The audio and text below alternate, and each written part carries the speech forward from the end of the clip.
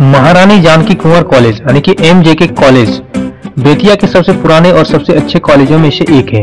बॉलीवुड अभिनेता मनोज बाजपेयी ने N S D यानी कि national school of drama new Delhi जाने से पहले यहाँ अध्ययन किया।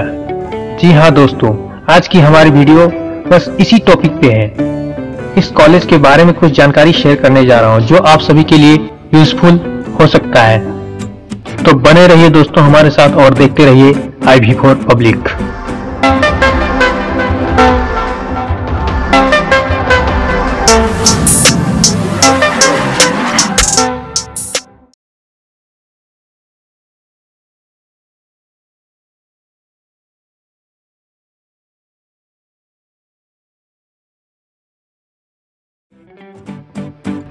उन्नीस सौ पचपन में बेतिया महाविद्यालय के नाम से स्थापित किया गया।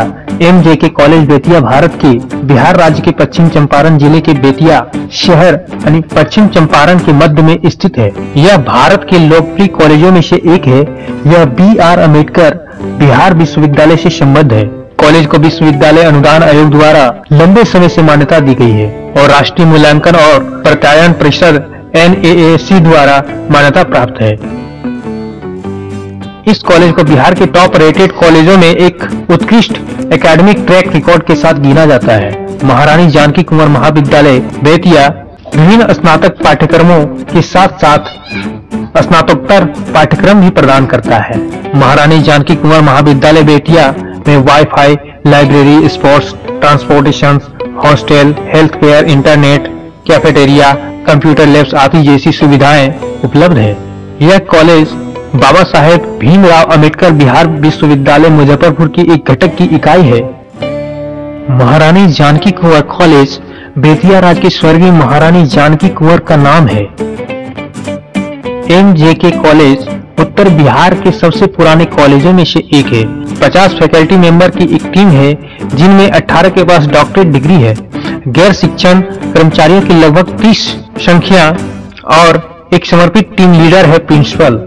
प्रबंधन संस्थान की राजसी इमारत को विस्तार से देखने के लिए उत्सुक नज़र के साथ डिज़ाइन किया गया है, जो बेहतरीन शिक्षण वातावरण की पेशकश करता है, जिसमें बड़े, विशाल, आर्थिक रूप से डिज़ाइन किए गए क्लासरूम, नवीनतम पुस्तकों और पत्रिकाओं के साथ विशाल पुस्तकालय, एक संगोष्ठी हॉल, खेल क्षेत्र, कार्यशाला, स्टाफ रूम आदि है।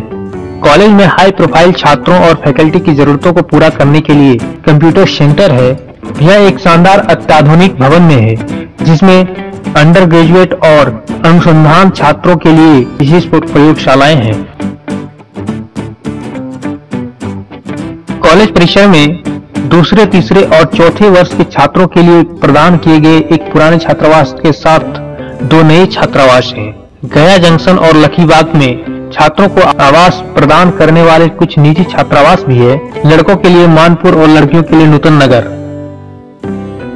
कॉलेज छात्रों के स्वास्थ्य के लिए चिकित्सा सुविधा और स्वास्थ्य शिक्षा कार्यक्रम प्रदान करता है। छात्र के स्वास्थ्य की जाँच के लिए कॉलेज समय समय पर एक पंजीकृत चिकित्सक को आमंत्रित करता है। अगर आपको लगता है कि वीडियो अच्छी बनी है तो लाइक और शेयर करें और सब्सक्राइब करते समय घंटी का बटन दबाना न भूलें। इस वीडियो में कोई कमी रह गई हो तो प्लीज़ कमेंट करके हमें अवश्य बताएँ, ताकि इन कमेंट्स को ध्यान में रखकर सही जानकारी आप तक पहुंचाई जा सके। धन्यवाद।